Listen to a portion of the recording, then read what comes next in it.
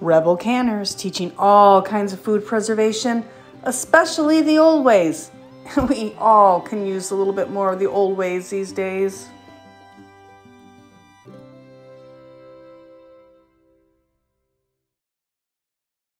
Today we're recanning nacho cheese sauce into individual containers for snacks. This recipe makes 16 half pint jars.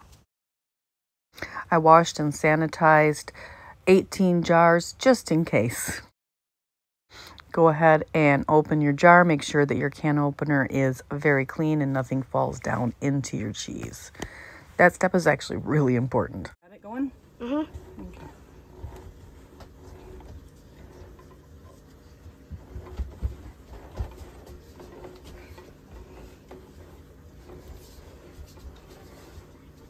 A long ways around here.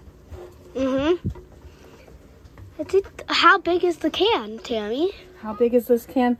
Um, this can is 106 ounces, which is six pounds, 10 ounces. It's almost seven pounds of cheese. It's a lot of cheese. Yeah. What are you making? I am going to make individual cans of cheese sauce because I have a bunch of pretzels in the freezer and then you guys can have your own cheese sauce with a pretzel. Hmm. And this is not. Working. Here, I think it's, oh, I think it's done. It just, Keep it keeps spinning it. we'll see. I know it's done when I get back over here to this side.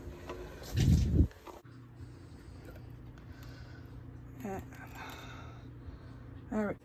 Okay, so I'm, so I am gonna double boil system, heat up the cheese in this double bo makeshift double boiler right in the big number 10 can and that'll help it go into the jars easier. So just gonna get that ready. Yep.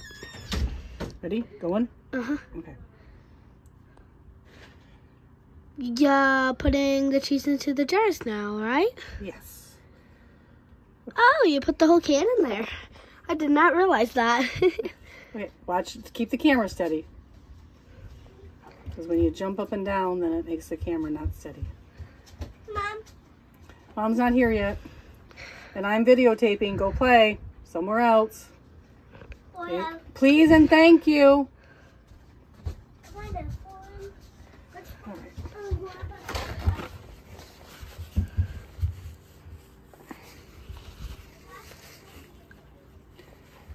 Thank you. I'm going to go ahead and wipe those rims.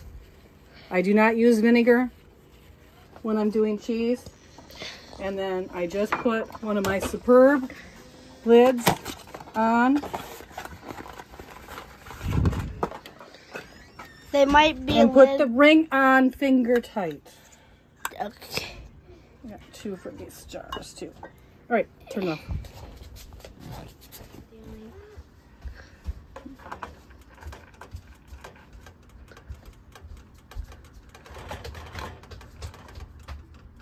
That's a weird really sound. hot, so you have to be careful.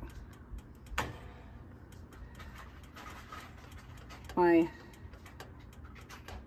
funnel will not work. I want to leave a good one inch headspace. That's probably a little, I may have to adjust this one. And again, I'm just going to wipe the rims off immediately. Get all of that off. I may have to take a little out of that because I didn't leave enough headspace. If you want to save on Superb Lids jars, use the code REBELCANNERS10 on the website, listed in the comments below. Now I am. All right, so taking a little bit out here because you really want to keep that one inch headspace. See, I had really put way too much in there. Anyway, wipe the rim, and then I'll put a lid, one of my Superb lids on. I do not use vinegar to wipe them, just a clean paper towel.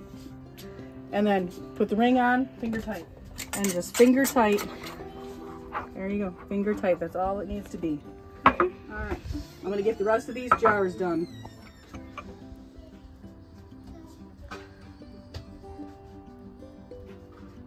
I just love the pretty ribbon the cheese makes when it goes in the jar. Yeah, it's so yellow. Mm -hmm. I'm going to go ahead and double stack these in my water bath canner.